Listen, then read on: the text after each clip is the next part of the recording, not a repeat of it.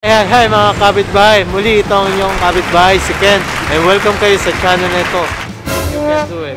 And i-update ko kayo kung ano na yung mga update ngayon dito sa Macau. Today is February 16. Ah, medyo malamig. 10 degree ngayon.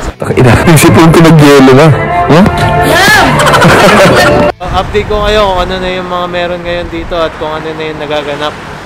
At saka update ko din kayo kung ano yung mga bagong update sa news about sa Macau. Ano bang hinihintay nyo? Samahan nyo ako. Paano? Hali na. Arat na.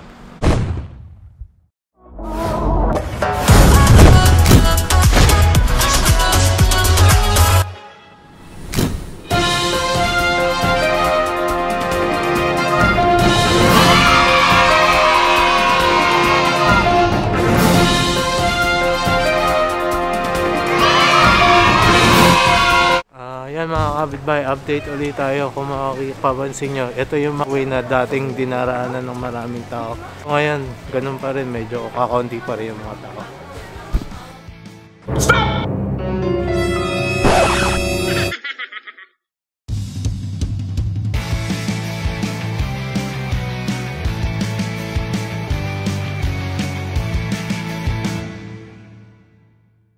買 buy away, they cannot buy. One can they ah. Hindi. Candies na naman alis siya sa atin. Lalabas naman yun sa record oh. ako. Uh, ay mga kapit, ay mga kapit ba, ito nga bumibili uli kami ng mas dito. After 10 days, saka lang kayo pwedeng bumili uli. May rule sila na after 10 days, saka lang pwedeng bumili. Bali yung shop na ito na bibilan niya ng mas malapit sa palengke and malapit sa Sanyo at saka Pacific Place. So ito yung shop niya. So makakabili kayo ng $8 for 10 pieces.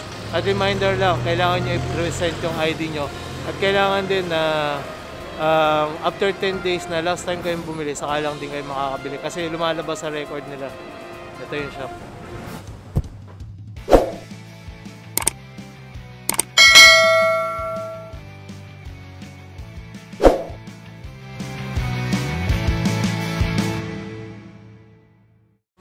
Kapitbahay, ito na ngayon yung itsura ng Senado Square o San Malo ngayong February 16, bali Sunday.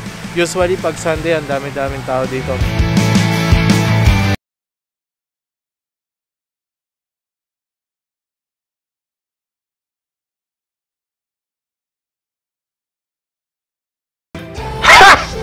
Gay!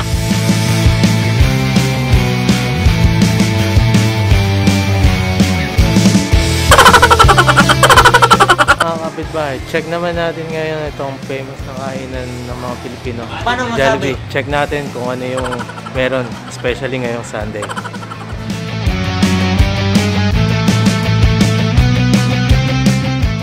A few moments later.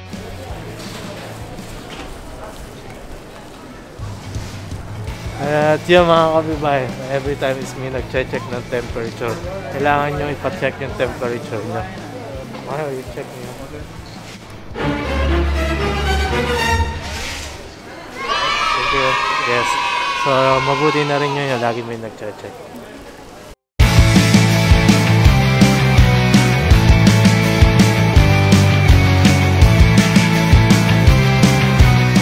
At yun, tips na rin mga kapitbahay na mas maganda na rin na sa tuwing lalabas kayo, nilistan nyo yung mga dapat nyo gawin para malimitahan nyo na yung paglabas nyo.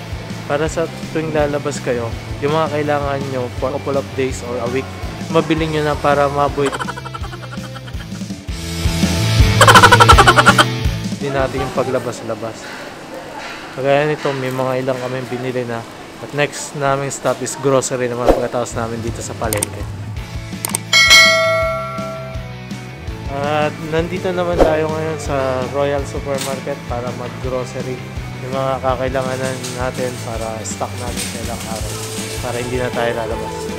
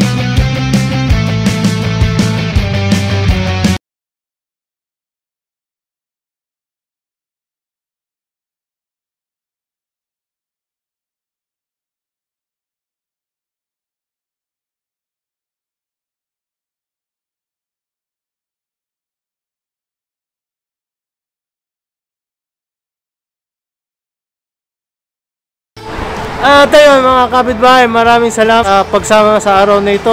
Nandito na ako ngayon ako sa bahay. Kung nagustuhan nyo ang video na to, please like, share at mag-comment ka na rin kung may mga suggestion ka. Ano mga kapitbahay? Kaya sa muli, dali na! Arat na!